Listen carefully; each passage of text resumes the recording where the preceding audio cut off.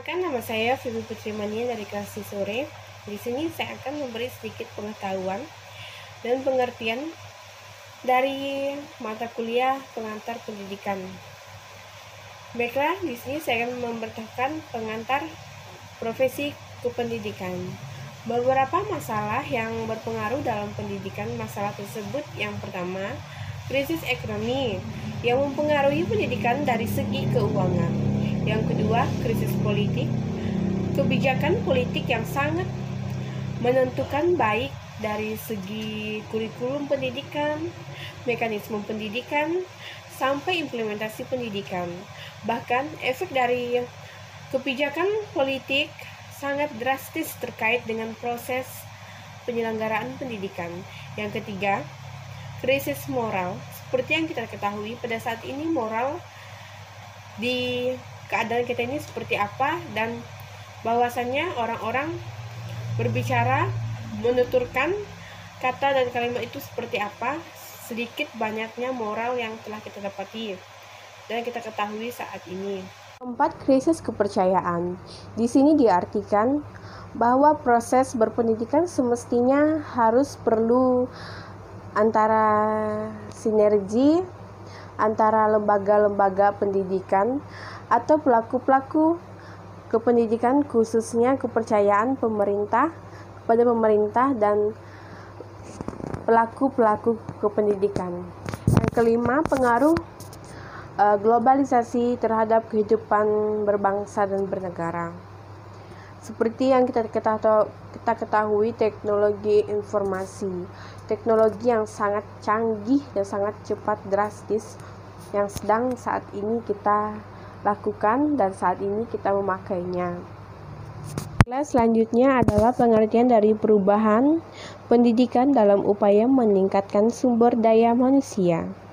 Pendidikan sebagai proses pembebasan, sebagian manusia berpikir pendidikan adalah kompleks, komparatif, bahkan banyak yang memandang setengah-setengah dari definisi pendidikan.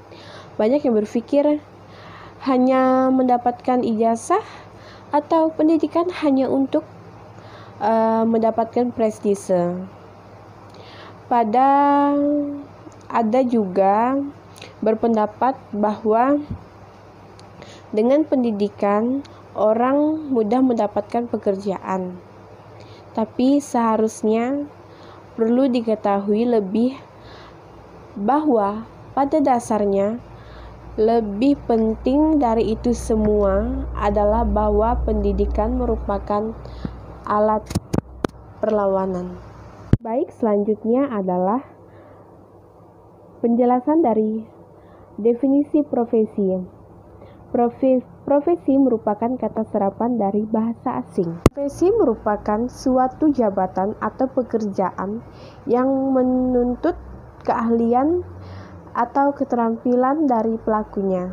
Profesi adalah pekerjaan yang membutuhkan penelitian dan penugasan terhadap uh, suatu pengetahuan khusus. Selanjutnya itu profesional. Profesional adalah pekerjaan atau kegiatan yang uh, dilakukan oleh seseorang dan menjadi sumber penghasilan kehidupan yang memerlukan keahlian khusus kemahiran atau kecakapan yang memenuhi standar mutu atau norma tertentu serta menentukan pendidikan profesi.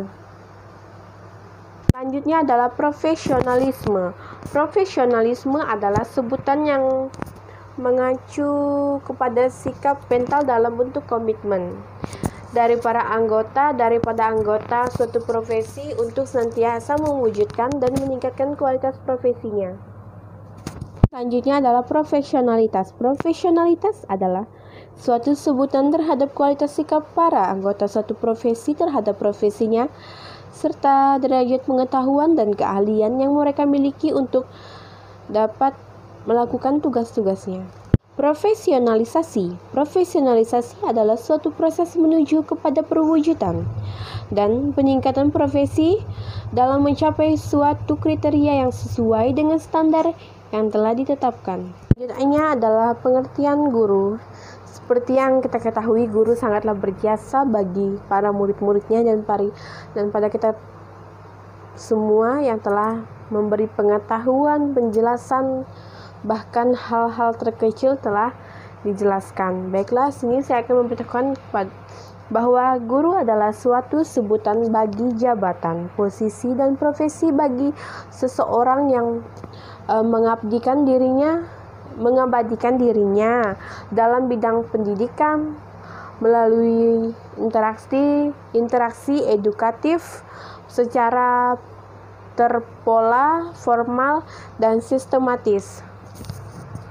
Undang-Undang Nomor 14 Tahun 2005 tentang guru dos, dosen pasal 1 dinyatakan bahwa guru adalah Pendidikan profesional dengan tugas utama pendidikan mengajar, membimbing, mengarahkan, menilai, dan mengevaluasi peserta didik uh, pada jalur pendidikan formal, pada jenjang pendidikan serta da, serta dan pendidikan menengah.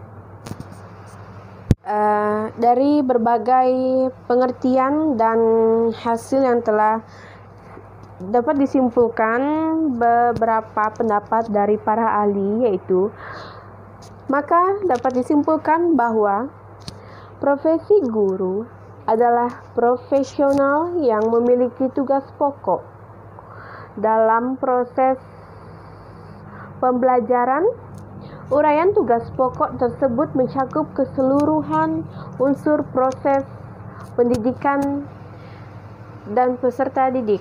Selanjutnya, gagasan pendidikan profesi guru semula dimaksudkan sebagai langkah strategis untuk mengatasi perbaik problem uh, mutu keguruan kita karena perbaikan itu tidak akan terjadi oleh sebab itu, pendidikan profesi diperlukan dan kinerja guru secara terencana, teranah, dan kesinambungan.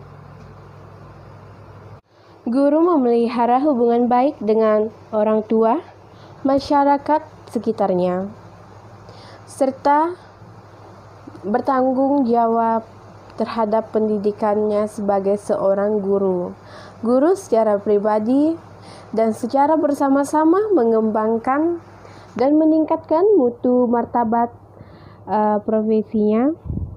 Guru memelihara profesi uh, semangat kekeluargaan, kekurangan kesetiakawanan nasionalisme.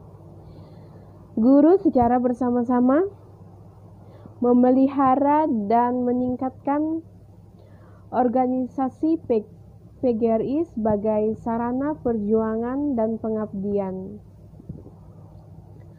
Guru melaksanakan segala kebijakan pemerintahan dalam bidang pendidikan dalam pembangunan pendidikan. Ini adalah ini fungsi kode etik profesi.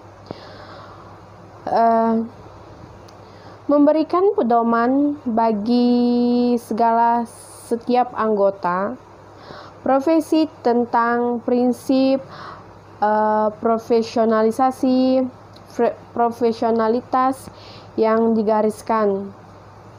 Sebagai uh, sarana kontrol sosial bagi masyarakat dan yang bersangkutan mencegah campur tangan pihak di luar. Organisasi profesi tentang hubungan etika dalam keanggotaan profesi. Selanjutnya adalah tujuan pengembangan profesi keguruan. Pengertiannya sebagai berikut untuk melakukan kegiatan karya tulis atau karya ilmiah dalam bidang pendidikan uh, serta membuat alat hmm, pelajaran atau alat kerja atau alat bimbingan uh, terus menciptakan karya seni dan juga menemukan teknologi tepat guna di bidang pendidikan serta mengikuti uh, pengembangan kurikulum. Penjelasan terakhir yaitu standar kompetensi keguruan, indikator yang dapat uh, dijadikan untuk karakteristik atau yang dinilai kompeten secara profesional yaitu mampu mengembangkan tanggung jawab dengan baik, mampu melaksanakan peran dan fungsi dengan tepat, uh, mampu bekerja untuk mewujudkan tujuan pendidikan di sekolah, serta yang terakhir mampu melaksanakan peran dan fungsinya dalam pembelajaran di kelas. Karakteristik tersebut yang telah saya jelaskan dapat dijabarkan atau dapat didefinisikan sebagai berikut uh, tanggung jawab guru. Tanggung jawab guru dapat dijelaskan menjadi tiga yaitu tanggung jawab moral dalam bidang pendidikan di sekolah, dalam bidang ke masyarakatan dan dalam bidang keilmuan. Hmm, peran fungsi peran dan fungsi guru uh, sebagai pendidik dan pengajar, anggota masyarakat, pemimpin, administrator administrator, dan pengelola pembelajaran. Setelah sekian penjelasan dan sedikit pengertian yang telah saya jabarkan, yang telah saya definisikan dengan menggunakan kata-kata saya, maaf jika ada salah. Sekian dan terima kasih.